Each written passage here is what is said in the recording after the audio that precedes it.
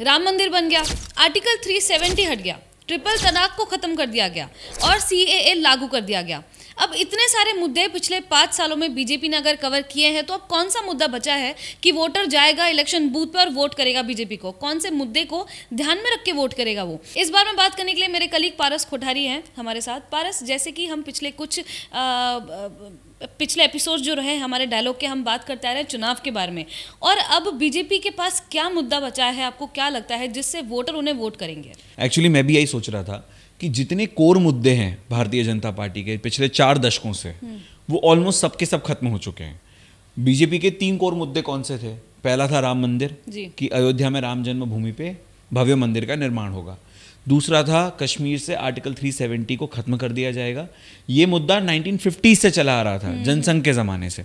और तीसरा मुद्दा था कि हम यूनिफॉर्म सिविल कोड लेकर आएँगे। हम्म। इसके अलावा दो और मुद्दे थे कि हम सिटीजनशिप अमेंडमेंट एक्ट लेकर आएँगे जो शरणार्थी पाकिस्तान बांग्लादेश और अफ़गानिस्तान से आए थे उनको नागरिकता देंगे। हम्म। और पांचवा मुद्दा था कि ट्रिपल तलाक खत्म करेंगे। इन पाँच में से चार मुद्दे बीजेपी ने सॉल्व कर दिए।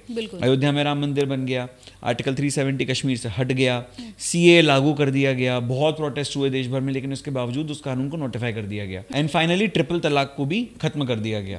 अब इकलौता मुद्दा जो कोर पाँच मुद्दे थे उसमें से बचा है और वो है यूनिफॉर्म सिविल कोड अब बात आती है कि 2024 में अगर वोटर जाएगा पोलिंग बूथ में तो किस मुद्दे पे वोट करेगा वो? बीजेपी हम्म, हम्म। को अगर वो वोट कर रहा है तो। हम्म। तो ये एक बहुत बड़ा सवाल था बीजेपी की कोर कमेटी के पास भी कि हम ऐसा क्या लेकर आए मैनिफेस्टो में? अभी तक तो मंदिर के नाम पे आर्टिकल 370 के नाम पे वोट मांगे जा रहे थे। लेकिन अब किस चीज़ के लिए वो और ऐसा भी नहीं कि उन्होंने ये पूरा नहीं किया है कि वो उसको रिपीट कर सकते हैं। उन्होंने उन सारे मुद्दों को जो उन्होंने ज़िक्र किया था मैनिफेस्टो में वो उन्होंने पूरा कर दिया है। एक और मैं आपको बताना चाहूँगी पारस यहाँ पे वन नेशन वन इलेक्शन पहली बार मैनिफेस्टो में किसी पार्टी ने वन नेशन वन इलेक्शन का ज़िक्र किया है और अगर बीजेपी जीतती है तो फिर वो ला भी देंगे क्योंकि जिस तरीके से पास रिकॉर्ड रहा है बीजेपी का अब तक का वो लिखते हैं वो कर देते हैं। मेरे हिसाब से यही सबसे बड़ा मुद्दा है चुनाव का। जी। ये मुद्दा नहीं है कि मैनिफेस्टो में BJP one nation one election लेकर आई है या फिर कॉमन सिविल कोड लेकर आई है। मुद्दा इस बार इलेक्शन का ये है कि आप किसके मैनिफेस्टो पे यकीन कर रहे हो? दो लोगों ने गारंटी दी है। एक तरफ़ है मोदी की गारंटी एक तरफ़ है कांग्रेस की गारंटी जो राहुल गांधी दे रहे हैं। जनता किसकी गारंटी पे यकीन करेगी? किसकी गारंटी एक्चुअल गारंटी वाली गारंटी है। ये सबसे बड़ा सवाल है। अगर आप ट्रैक रिकॉर्ड देखो तो कांग्रेस ने आज तक जिस स्टेट के इलेक्शन में जितनी गारंटियाँ दी हैं एक गारंटी आप मुझे बताओ जो उन्होंने पूरी की हो। हम्म।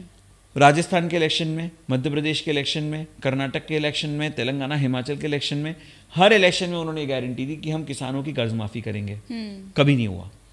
इसी चक्कर में मध्य प्रदेश की सरकार भी गिरी कमलनाथ की कि उन्होंने अपना वादा पूरा नहीं करा।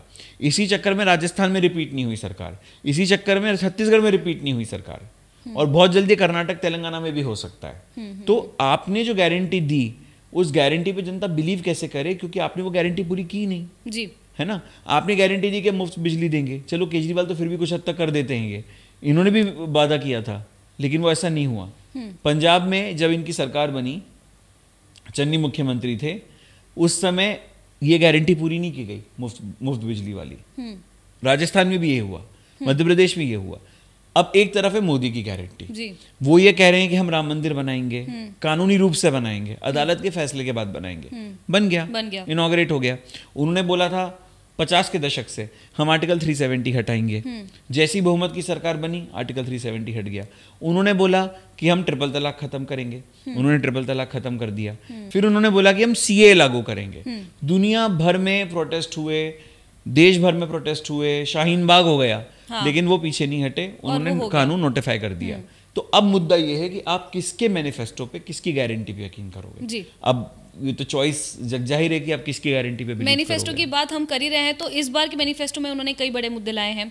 ओलंपिक्स जो आज तक देश में हमारे हमारे भारत में नहीं हुआ है वो होने जा रहा है वो उनकी प्लानिंग कर रहे हैं वन नेशन वन इलेक्शन है यूसीसी है यूनिफॉर्म सिविल कोड है ट्रांसजेंडर्स को आयुष्मान भारत योजना हम्म। में वो शामिल करने जा रहे हैं और कई दिव्यांगजन हैं जिनकी जो आवास योजना है उसमें वो उन्हें शामिल करेंगे। महिलाओं को ड्रोन पायलट बनाया जाएगा and the list goes on मैं जितना बोलती जाऊँगी हाँ, उतना लिस्ट काफ़ी ज़्यादा है। बहुत लंबी लिस्ट है ये बहुत लंबी लिस्ट है। अपन एक एक करके बात कर लेते हैं। सबसे पहले बात करते हैं हम यूनिफॉर्म सिविल कोड ये मुद्दा ऑलरेडी उनके मैनिफेस्टो में रहा है। जी। लोगों को उम्मीद थी कि शायद इलेक्शन के पहले ही इसे लागू कर दिया जाएगा बट ऐसा हुआ नहीं। बट मेरी गैसिंग ऐसी है कि जो ट्रैक रिकॉर्ड है मोदी और शाह का आई थिंक इलेक्शन जीतने के बाद वो सबसे पहला काम जो करेंगे वो यूसीसी ही लेकर आएँगे। इसकी शुरुआत ऑलरेडी उत्तराखंड से हो चुकी है। गोवा में ऑलरेडी यूसीसी है। तो जो पहला फैसला होगा बड़ा फैसला वो यही होने वाला है कि पूरे देश में यूनिफॉर्म सिविल कोड लागू हो जाएगा। लागू हो जाएगा। इसके बाद जो दूसरा मुद्दा बड़ा मुद्दा लेकर आए हैं वो जो पहली बार मैनिफेस्टो में आया वो है वन नेशन वन इलेक्शन अगर आप नोटिस करें तो पिछले एक डेढ़ साल से लगातार ये मुद्दा बहुत ज़्यादा ज़ोर पकड़ रहा है। पूर्व प्रेसिडेंट जो थे हमारे रामनाथ कोविंद उनकी अध्यक्षता में कमेटी भी बनी है कमेटी ने अपनी रिपोर्ट भी सौंप दी। अब सिर्फ़ उस रिपोर्ट को लागू करने की देर हम्म, है जैसे ही ये रिपोर्ट लागू होगी पूरे देश भर में हंगामा मचने वाला है। क्योंकि जितनी भी रीजनल पार्टीज़ हैं स्पेशली जो बीजेपी विरोधी पार्टीज़। हैं वो यही कहेंगी कि हमें खत्म करने के लिए इसको लागू किया जा रहा है। इसमें एक इंटरेस्टिंग बात मुझे याद आ रही थी कि कांग्रेस के कई सारे बड़े नेता हैं, इस बात को लेकर अगेंस्ट में भी है, लेकिन कुछ कुछ नेताओं ने ऐसे ऑन कैमरा तक कहा है कि ये जो वन नेशन वन इलेक्शन अगर होता है बाई चांस तो फाइनेंशियली और जो सिस्टमेटिकली पूरा सरकार को सेंट्रल हो या स्टेट्स हों, उनका जो पावर जाता है किसी एक इलेक्शन को कंडक्ट करने में, वो कम हो जाएगा, लोगों को परेशानी कम होगी तो प्रैक्टिकली काफ़ी अच्छा ऑप्शन है। ये एक्चुअली बहुत अच्छा ऑप्शन है। अगर मैं आपको बताऊँ कि आज़ादी के बाद 10 साल तक इस देश में वन नेशन वन इलेक्शन ही था। केंद्र सरकार के चुनाव और राज्य सरकारों के चुनाव एक साथ एक होते साथ थे होते थे। उसके बाद वो दौर आया जब इंदिरा गांधी की सरकार बनी और इंदिरा गांधी ने धड़ाधड़ राज्य सरकारों को बर्खास्त करना शुरू करा। इमरजेंसी आ गई। बहुत सारी राज्य सरकारों को बर्खास्त कर दिया गया स्पेशली जो जनसंघ की और जनता दल की सरकारें थी। उसके बाद ये जो क्रम था एक साथ चुनाव करवाने का वो टूट गया। और उस मोमेंट से सत्तर के दशक के बाद से देश में one one nation one election हुआ ही नहीं। जी। अगर आप लॉजिकली देखें तो ये सबसे अच्छा ऑप्शन अच्छा ऑप्शन है। सबसे लोग अच्छा कितना परेशान होते हैं। बार बार इलेक्शन ये एक किसी नेता ने प्रचार कर लिया फिर रोड शो हो गया फिर यहाँ पे सभा हो गई। कितना हर हर चीज़ पे इम्पैक्ट पड़ता है। सिर्फ़ प्रचार को लेकर नहीं मतलब मैं एक साल में कितनी बार वोट डालने। जाऊँ? एक बार लोकसभा का डालूं फिर मैं विधानसभा का डालूं फिर मैं पंचायत का डालूं फिर मैं अ, किसी और चीज़ का डालूं महानगर पालिका का डालूं किस किस चीज़ के लिए वोट डालने जाऊँ मैं? आप एक बार इलेक्शन करवाओ और उसे एक इलेक्शन में मुझे पाँच साल के लिए आप निवृत्त कर दो। ये ज़्यादा लॉजिकल ऑप्शन है आपका खर्चा बच रहा है। इलेक्शन कमीशन के जो इतने रिसोर्सेज लगते हैं वो बच रहे हैं। सरकारी छुट्टियाँ बच रही हैं। जी।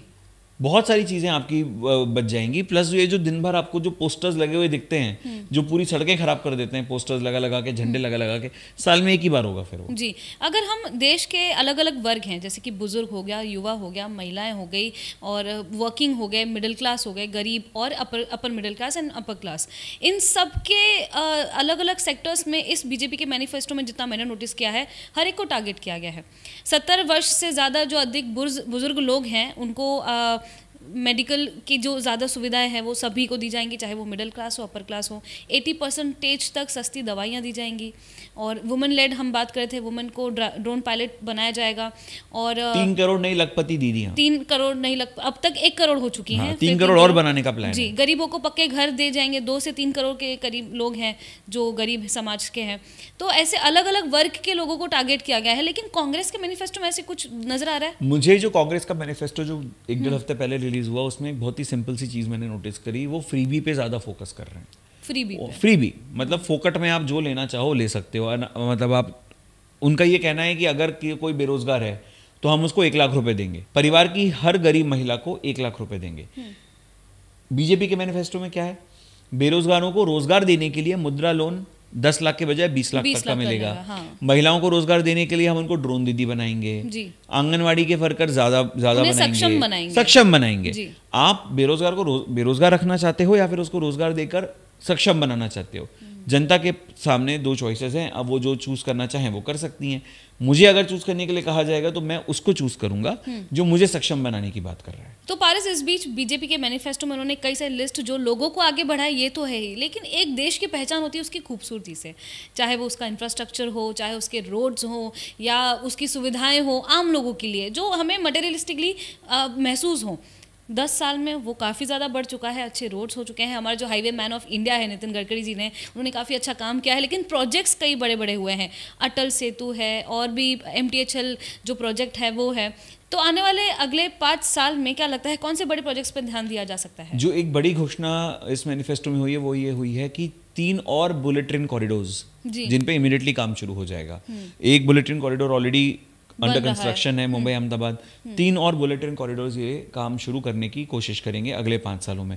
इसके अलावा वंदे भारत ट्रेन की जो तादाद है वो बढ़ाई जाएगी। इसके अलावा हाईवेज और एक्सप्रेसवेज का नंबर्स और बढ़ाए जाएँगे। रिवर लिंकिंग प्रोजेक्ट के ऊपर बहुत तेज़ी से काम होगा। तो इंफ्रास्ट्रक्चर डेवलपमेंट जो है उस पर बहुत ज़्यादा फोकस पिछले दस सालों में भी था और आने वाले पाँच सालों में अगर नरेंद्र मोदी फिर से प्राइम मिनिस्टर बनते हैं तो वो होने ही वाला है। उनके पास एक ऐसा आदमी है जो ये काम बहुत अच्छे से कर रहा है Nitin Gadkari. Highway man of highway man of India उसमें उनको टेंशन लेने की ज़रूरत नहीं है। इंफ्रास्ट्रक्चर डेवलपमेंट का काम बहुत तेज़ी से चल रहा है। और अगर सरकार फिर से रिपीट हो रही है तीसरी बार वो पीएम बन रहे हैं तो इस पर फिर से फोकस रहेगा। बिल्कुल। तो इस डायलॉग के सेगमेंट में हमने बात की कि बीजेपी ने अपने मैनिफेस्टो में बड़ी लिस्ट ज़ाहिर की है लोगों के सामने। अब वोटर्स को ये ध्यान में रखना है कि वो किसे वोट करना चाहते हैं और किसके मैनिफेस्टो पे वो यकीन करना चाहते हैं। मैं हूँ लता शर्मा। मैं हूँ पारस कोठारी। डायलॉग के ऐसे सेगमेंट्स को और देखने के लिए न्यूज़ प्लस को लाइक शेयर और सब्सक्राइब ज़रूर करें।